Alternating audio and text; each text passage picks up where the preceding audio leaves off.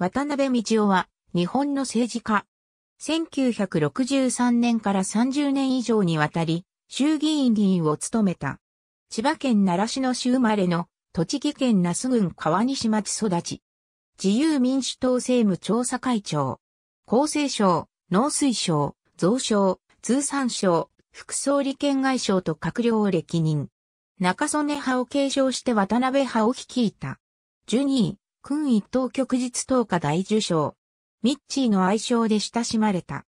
息子は内閣府特命担当大臣やみんなの党代表を務めた参議院議員の渡辺義美。長女は2017年の第48回衆議院議員総選挙に希望の党から公認を受けて立候補したが落選。元参議院議員で栃木県那須塩原市長の渡辺道太郎は孫。1923年7月千葉県習志野市にて、職業軍人の渡辺喜助、母松の間に生まれた。川西町サブイ小学校、旧制大田原中学校を卒業、陸軍士官学校を受験するが果たせず、1942年に東京商科大学附属小学専門部に入学。翌年秋に学徒出陣のため繰り上げ卒業し、出陣。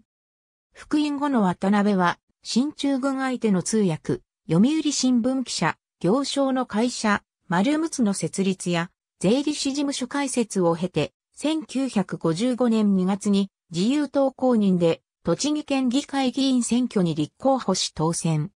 行商生活の1952年、後に元衆議院議員、みんなの党代表を務める長男吉見が誕生している。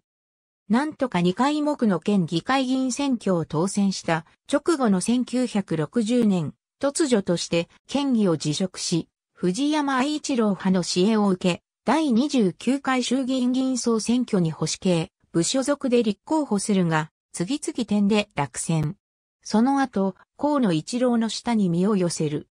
1963年11月第30回衆議院議員総選挙に自由民主党公認で立候補し、初当選。1965年に河野一郎が急死し、河野派で後継者争いが起こると、当時1年生議員だった渡辺は、中曽根康弘への派閥継承を主張。翌年、河野派は、重政重幸、森清派と中曽根派に分裂し、渡辺は中曽根派に所属した。第3次、佐藤内閣で農林政務次官を経験するなど、農林族議員として頭角を現し、ベトコン議員が多く参集する米華問題懇談会では切り込み隊長となって、同期の中川一郎、港哲郎と共に三ちゃん艦隊と呼ばれた。米価引き上げに頼らない農政改革を主張する、いわゆる総合農政派として知られた。1973年には田中角栄内閣の日中国交正常化や、金権政治に反対する親大派の保守系、若手議員によって結成された青蘭会に参加し、渡辺は中川、港らと共に代表世話人となった。1974年、税理士という立場もあり、大蔵小委員会において、飯塚事件に関する質問を行い、国税庁の権力乱用を追及する。この国会質問が契機となり、国税庁が自らの過ちを認め、事件の幕が引かれることになる。1976年、福田武雄内閣で厚生大臣として初入閣。日本医師会の竹見太郎会長との間で、健康保険法改正、医療費値上げ、医師優遇課税をめぐり激しく争い、天皇とも呼ばれた竹見に完全として戦いを挑んだ。第一次太平内閣で農林水産大臣として再入閣。大平正義と渡辺は同じ東京商大の同窓ということもあり、女水海人脈を通じて深い結びつきを持つようになっていった。衆議院総選挙敗北の責任をめぐり、太平と福田武雄の間に、いわゆる40日構想が起きた際、渡辺は総裁予備選挙で一般党員が選出した大平総裁を引きずり下ろすのは大義名分がないとして反対兵を標榜していた中曽根派から離反する形で主犯指名で太平に投票した。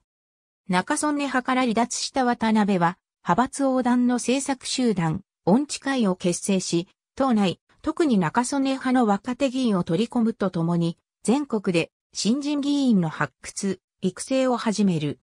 その一方で、中曽根別動隊としても活動し、太平首相の旧姓を受けた総裁選びでは、田中角栄を訪ねて中曽根のために動いた。太平内閣を引き継いだ鈴木善光内閣では、大倉大臣に就任し、財政再建に取り組んだ。1983年の総選挙後、中曽根派に復帰。第二次中曽根第二次改造内閣で通産大臣、1987年には自民党政調会長に就任。税理士経験からミクロ経済に強く自民党有数の経済通りとして知られるようになった。中曽根後の派後継者と目された渡辺は、安、竹宮渡るとしてニューリーダーの一角に数えられた。ポスト竹下を目指し、幹事長の安倍晋太郎を脅かす存在感を発揮したが、リクルート事件に関与していたことが発覚、他の実力者と共に筆足を余儀なくされ、竹下首相退陣後は、同じ中曽根派の幹部であり、日頃から反渡辺を公言していた、宇野宗介に首相の座を奪われる。塩原温泉郷にある渡辺道夫の胸像。1989年10月建立。1990年の総選挙直後に中曽根派会長の桜内義雄から派閥前場を受け同派会長に就任し、同派を渡辺派とする。しかし、前述の40日構想時に中曽根派を離脱し、また、リクルート事件にも関与した渡辺への世間の風当たりは強く、また派閥オーナーである中曽根の意見を取り入れた派閥運営を余儀なくされた。1991年、自民党総裁選に初出馬し辞典に終わるも、直後発足した宮沢内閣で副総理兼外務大臣に就任。しかし激務が重なった上、同年には膵臓癌の手術を受け、この頃から病気がちとなり、入退院を繰り返すようになる。翌年12月の宮沢改造内閣でも留任したが、1993年4月に辞任。同年7月の総選挙で野党に転落した自民党の総裁選に再度出馬するが、健康不安などもあって、河野洋平に敗れた。1994年4月、細川内閣大臣の際、新政党の小沢一郎より自民党からの離党を条件に首相就任を打診される。離党を示唆するなど、一時は本気でその姿勢を見せるが、同庁者が中山正明、伊吹文明、竹部務、柿沢浩二ら十数名に止まり、河野総裁の遺留を受け入れる形で離党を断念。さらに、村山富一への主犯指名選挙でも、社会党の委員長を首相なんかに押せるかと、派閥オーナーの中曽根と共に造反し、連立政権の統一候補となった海部都市記に投票した。これらの造反行為により、派閥内部における渡辺の求心力は著しく低下し、派閥幹部の江藤高見は、小沢の誘いに乗るとは何事か、と中曽根、渡辺を公然と批判するなど、渡辺派の結束も緩んでいった。こうした渡辺の言動の裏には、年齢、体力面でももう時間がなく、自分より10歳以上、若い河野に差を開けられていることへの焦りがあったと言われている。河野総裁の不出馬を受けた1995年の自民党総裁選では自身と同じ衆院選、当選同期の橋本龍太郎を支持した。総理への道を諦めきれないまま、1995年9月15日、東京都新宿区の東京女子医科大学病院で心不全のため死去した72歳没。渡辺の死後、秘書を務めていた息子の吉見が地盤を引き継いだ。墓所は栃木県大田原市の光間寺にある。渡辺の言動はミッチー節と呼ばれ、言われる栃木弁丸出しの歯に衣着せぬ話術でマスコミに積極的に登場し、お茶の間の人気を得た。一方で、たびたび絶火事件を起こした。といったものが知られるが、以下の一件は、時の総理大臣への抗議と、その釈明書が出る事態となった。1988年7月に開催された自由民主党軽井沢セミナーの講演において、アメリカ人の経済観念に触れ、日本人は破産というと、夜逃げとか、一家心中とか、重大と考えるが、クレジットカードが盛んな向こうの連中は黒人だとか、いっぱいいて、うちはもう破産だ。明日から何も払わなくていいそれだけなんだ。ケロケロケロ、あっけらかーのカーだよと述べた。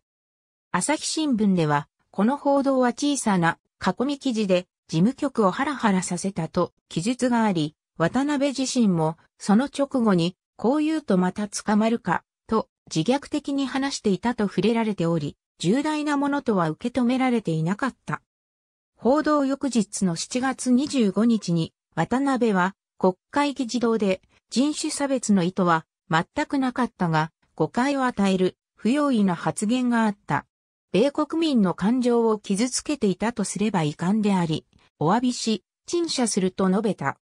しかし、中日アメリカ合衆国大使館のスポークスマンは26日に、米国人を蔑むような発言は、遺憾と表し、これがアメリカ合衆国で伝えられると大アメリカ合衆国日本国大使館に50件の抗議が寄せられた。8月2日にはアメリカ合衆国の黒人議員協会や全米黒人実業家協会の関係者がアメリカ合衆国議会で会見し、中曽根康弘前首相の発言に続けてこの出来事が起きたことで日本の差別観念が変わっておらず、むしろ悪化しているとして、首相の竹下登への抗議文を発表した。竹下は8月13日に黒人議員協会に釈明の文書を送ることとなった。1993年から1994年にかけて民間療法として野菜スープ健康法がブームとなり、当時すでに体調が優れなかった渡辺もこれを実践。同健康法の提唱者立伊沢の著書、元祖野菜スープ強健法がん細胞も3日で消えた ?2、評論家、草柳泰造、漫画家、赤塚藤夫、プロ野球監督、星野千一夫人、星野タスクイサゴラと共に登場し、効果があった、体調が良くなったと語った。ところが1994年6月16日、立石はが、医師の免許を持たずに診療行為を行い、また許可なく医薬品を販売したとして、医師法違反と薬事法違反の疑いで逮捕されるという事件が発生した。立釈は渡辺、草柳らを勝手に広告等にし、違法行為を行っていたことが明らかとなった。立釈の野菜スープ健康法はテレビ番組でも取り上げられていたほか、立釈の著書も18万5千部を超える売り上げがあり、影響が大きく、被害者も全国に広がり、数千人に及んだ。立釈が考案した野菜スープ自体は健康にマイナスの影響はなく、健康被害はなかったが、立石が宣伝していた、リウマチに効く、末期癌が治る、等の薬効は全く根拠のないものであった。渡辺も被害者となったわけであるが、国会議員が怪しげな人物に関わるとは軽率との批判も受けた。しかし翌年渡辺は死去。ブームに踊らされ、根拠のない民間療法にすがるという大物政治からしからぬ行動もまた渡辺の焦りの現れだったのではないかと言われた。上記で述べられているもの以外。ありがとうございます。